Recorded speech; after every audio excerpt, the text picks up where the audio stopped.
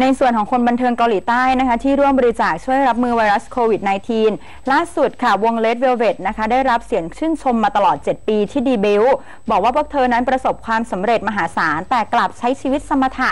ไม่มีข่าวสมาชิกคนไหนซื้อบ้านหรือรถ แต่พอเกาหลีใต้เดือดร้อนอย่างกรณีไวรัสโคโรนาระบาด พวกเธอคือคนแรก ๆ ที่ร่วมบริจาคช่วยการหลายสิบหลายร้อยล้านวอนเป็นรายบุคคล